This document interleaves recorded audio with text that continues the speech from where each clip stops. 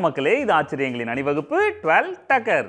நிலத்தில் வாழ்றதுலேயே மிக வேகமான விலங்குனா சீட்டா அதாவது சிறுத்தை. அதை பற்றின பன்னெண்டு தக்கரான தகவல்கள் உங்களுக்காக. சிறுத்தையோட ஆரிஜின் அப்படின்னு பார்த்தீங்கன்னா ஆப்பிரிக்கா தான். மண்டை ரொம்ப சின்னதாகவும் உடம்பு பட்னியில் கிடந்தா எப்படி இருக்கும்? அது மாதிரி ஒட்டி போயும் இருக்கும். இதுதான் இதோட அடையாளம். பூனை ஃபேமிலியை சேர்ந்தது.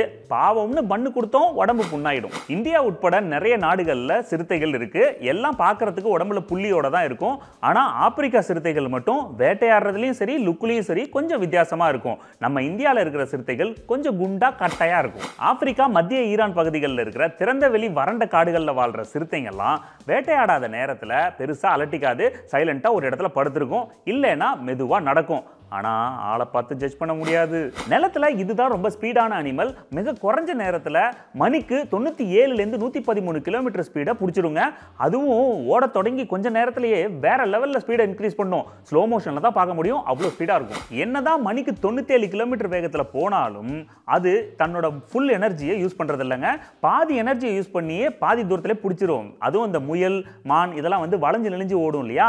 இதுவும் வளைஞ்சு நெளிஞ்சு ஓடும். ஆனால் அதோட ஸ்பீடை குறைக்காது. இதான் அதோட ஸ்பெஷாலிட்டி இறைய பார்த்தோன்னே சேசிங்கை ஸ்டார்ட் பண்ணிடும் ஒரு அடி கூட பேக் அடிக்காதுங்க. ஆனால் இறைய பிடிச்சதுக்கப்புறம் அது கொஞ்சம் நேரம் ரெஸ்ட் எடுக்கணும். அதாவது அஞ்சு பத்து நிமிஷம் இல்லைங்க. ஒரு மணி நேரம்.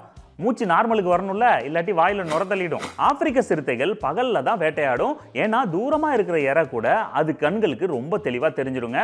இறைய பிடிக்கிறதுக்கு எவ்வளோ வேகமா ஓடினாலும் அது துரத்தி பிடிச்சிருச்சுன்னா ஈஸியா இறைய கீழே வீழ்த்திரும். அதுக்கப்புறம் அது கழுத்தை பிடிச்சிரும் ஜோலி முடிஞ்சுச்சு.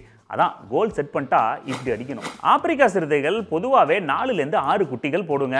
அந்த குட்டிங்க கொஞ்சம் பெருசாக வளர்ந்துருச்சுனாலே எப்படி ஓப்பன் ஸ்பேஸில் வாழணும் எப்படி வேட்டையாடணும் அப்படிங்கிறதெல்லாம் அம்மா ட்ரைனிங் கொடுக்கும்.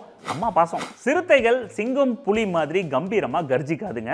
சைலண்ட்டாக தான் இருக்கும். அப்படியே கத்தணும்னு தோணுச்சுன்னா லைட்டாக அந்த பூனைங்க மாதிரி அவ்வளோதான் சைலண்ட் பட் வைலண்ட் நாய்க்குட்டிகள் எப்படி பொருட்களை வச்சு விளையாடி பழகுமோ அதே மாதிரி தான் சீட்டா குட்டிகளும் பழகும்.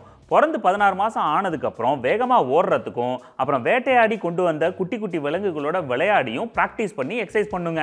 அதுக்கப்புறம் அந்த குட்டி விலங்குகளையே அதுங்க லபக்கிடும். சிறுத்தைகள் காட்டில் இருந்ததுன்னா பதினாலு வருஷம் வரைக்கும் உயிர் வாழும். நல்லா வளர்ந்த சிறுத்தையோட எடை வந்து எழுபது கிலோ வரைக்கும் இருக்கும். அது மட்டும் இல்லை அதோட உடம்பை விட காலும் வாலும் நீட்டமாக இருக்கிறதுனால வேகமாக வளைஞ்சு நெளிஞ்சு ஓடும். ஆப்பிரிக்கா காடுகளில் நிறைய வேட்டை நடக்கிறப்போ சீட்டாக்கள் தான் பாவம் மாட்டிக்கும் அது மட்டும் இல்லாமல் காடுகளை நிறைய அழிச்சிக்கிட்டு இருக்கிறதுனால அதோட எண்ணிக்கையும் குறைஞ்சிக்கிட்டு வருது. பாவம் காப்பாத்துங்க. ஓகே மக்களே மீண்டும் சந்திப்போம். இது ஆச்சரியங்களின் அணிவகுப்பு. டுவெல் டக்கர். பத்மை உங்கள் துரைராஜ் ஜெயசீலன்.